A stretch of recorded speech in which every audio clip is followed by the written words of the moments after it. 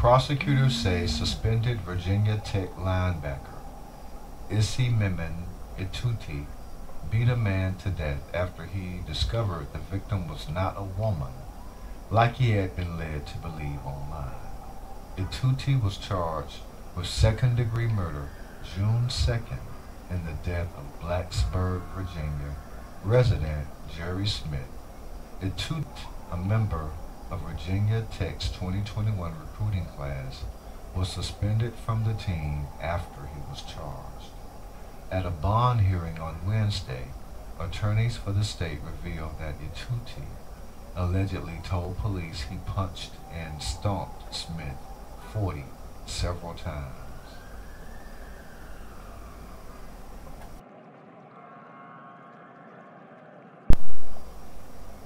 After he discovered Smith was a man.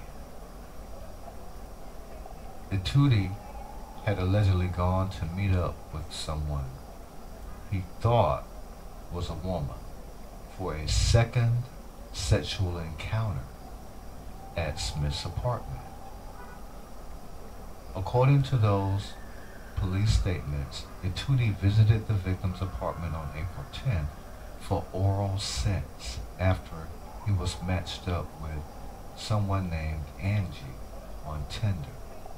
Etute returned to the apartment May 31st to engage in sexual activity and discovered the person he was matched up with was a man. Etute told the police he punched the victim five times in the face and continued punching them when the person hit the ground and stomped on them.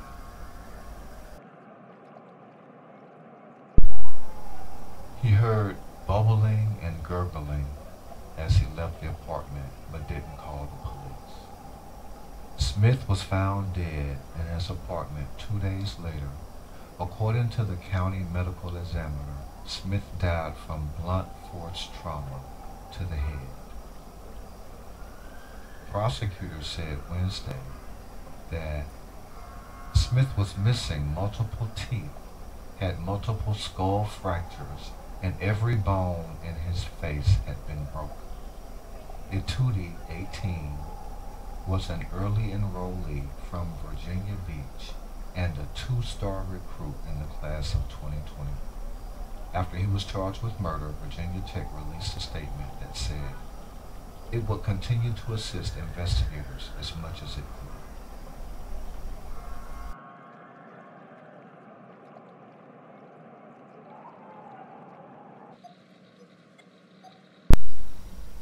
Etute was granted a $75,000 bond at Wednesday's hearing and is allowed to live with family in Virginia Beach until his trial. Per media accounts, those at the hearing, multiple Virginia Tech players were in attendance.